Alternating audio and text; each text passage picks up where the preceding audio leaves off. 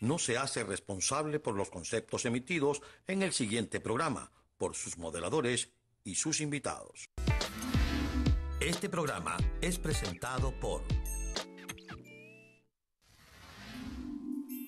Riviera Point. Construye tu futuro en Estados Unidos. Polytechnic, Universidad Politécnica en Doral. Enilab Test Now Doral. Programa Deuda Cero, su solución al problema financiero. Raúl Sebasco, la esperanza del inmigrante. Aló,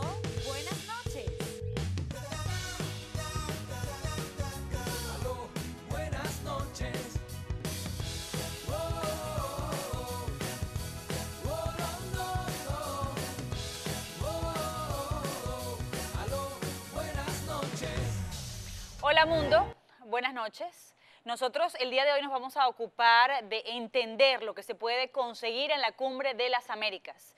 Y para eso, eh, quien ha generado polémica, pero también eh, dio pie a la reflexión, a entender que la batalla interna no es tan fácil, tan sencilla como hubiéramos esperado. Siempre estamos hablando de la presión internacional, pero ¿qué vamos a hacer los venezolanos desde afuera y desde dentro del país? Para empujar la conquista de la libertad. Diego Arria, ex embajador venezolano en la ONU, está con nosotros a través del Skype. ¿Cómo está, embajador? Bienvenido, buenas noches. Pues mira, muy bien, a pesar de que me fracturé una rodilla por haber pelado un escalón la semana pasada. pero Pobrecito. Pobrecito, lo lamento mucho, pero ya está mejor. Sí, por eso que no estoy en Perú, porque mira, eh, tengo, Pobrecito.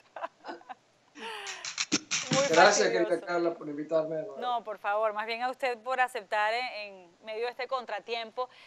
Embajador, eh, usted, bueno, fue como un hit en las redes sociales cuando criticó o de alguna manera puso en alerta a los venezolanos con respecto a la posición que podría tener o no la Asamblea Nacional, después que el TSJ legítimo en el extranjero, en el exilio, pues decretó que este antejuicio de mérito contra Nicolás Maduro tenía sentido, era procedente y que además debía detenérsele de manera preventiva por pues eh, delitos que no solo aluden a la corrupción, sino delitos que aluden también a la violación de los derechos humanos. Pero usted lo estaba haciendo con la duda, con la duda de que existiera una real comunicación entre el TSJ y la Asamblea Nacional. Usted prácticamente dijo que la Asamblea Nacional los nombró y los abandonó.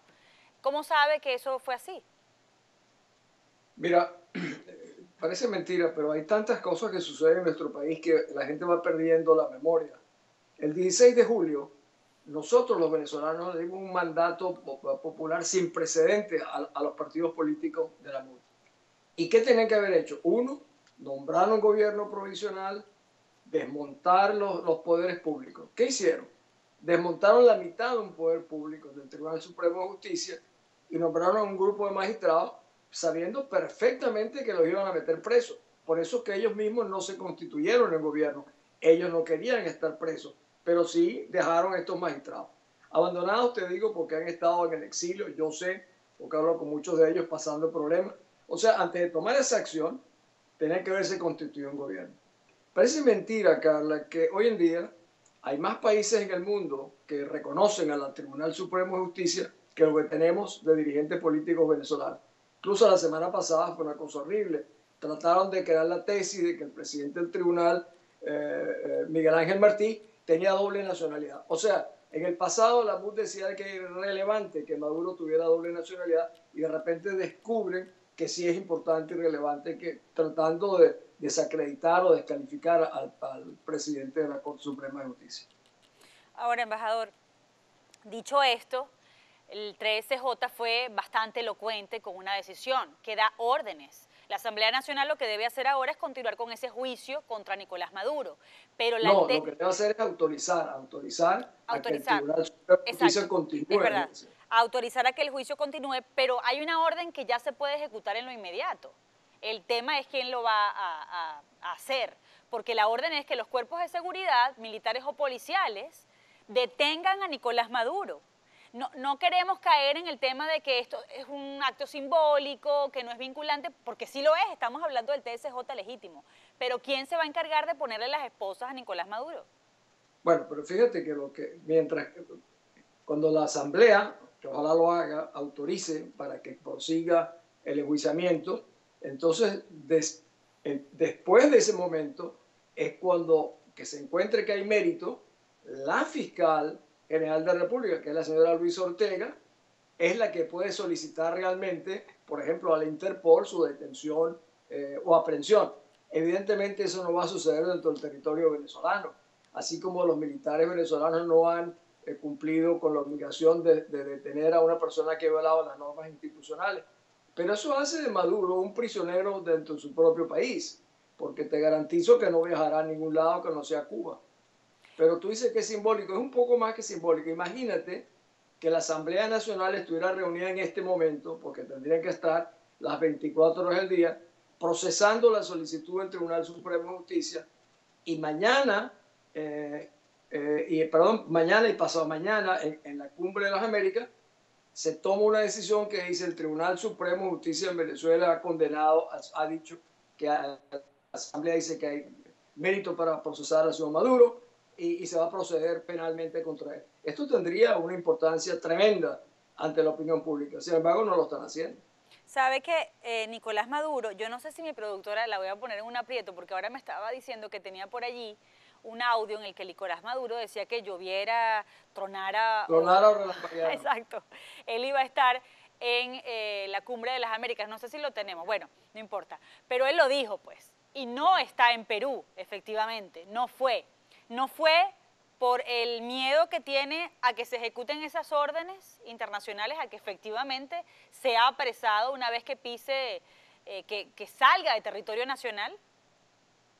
Pues mira, es una mezcla de eso, más lo que él sabe que hay una diáspora muy importante en Perú, que evidentemente lo iba a rechazar y a escrachar, como se dice ahora en este- Yo creo, Carla, que todas estas acciones es como una especie de cordón profiláctico. Fíjate que en la historia de América Latina, al único que han expulsado el sistema interamericano fue a Cuba.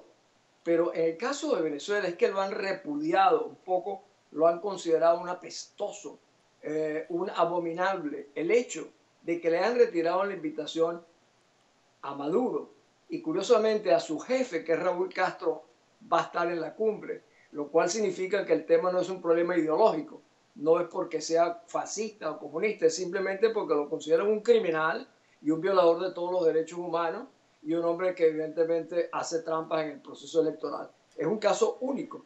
Y esto va apretando al régimen. El mundo se le va a hacer cada vez más chiquito. Viene en esta cumbre, eh, él oirá lo que piensan los países de la región sobre lo que le puede sobrevenir al régimen de Maduro. Embajador, eh, hoy el Grupo IDEA, eh, que envió, por cierto, una representación para la cumbre de las Américas, entre ellos el expresidente de Costa Rica, Miguel Ángel Rodríguez, quien tuvo la gentileza de conversar con nosotros más temprano y lo vamos a oír al final del programa. Ellos emitieron un documento muy claro. Eh, una de las solicitudes es, primero, que se retire a los embajadores, que la región latinoamericana saque a sus embajadores de Venezuela. Y lo segundo, que, que fue quizás entre lo más elocuente, eh, además de rechazar las elecciones del 20 de mayo, es que expulsen a testaferros y familiares de la dictadura venezolana que estén ahora refugiados en sus naciones. Esto es dar un paso mucho más adelante, si son escuchados.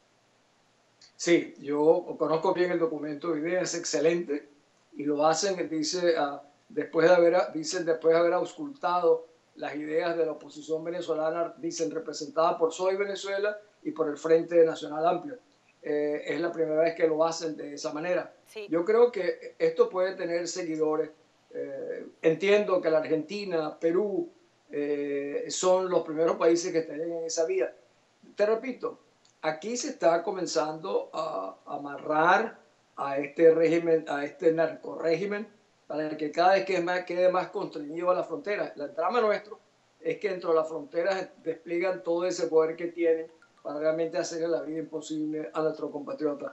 Pero esto tiene un efecto de ir minando y además diciéndole a las Fuerzas Armadas venezolanas miren lo que le está ocurriendo, miren a su alrededor. Y a los propios jerarcas del régimen, eh, cuando vean que el mismo régimen los está persiguiendo cuando no les sirven, por ejemplo, a la que era la tesorera de Chávez, que, entiendo que la iba a agarrar en España, o a, Rafael Ramírez y a otros, o sea, entre ellos mismos, yo creo que comienza a cundir la desconfianza.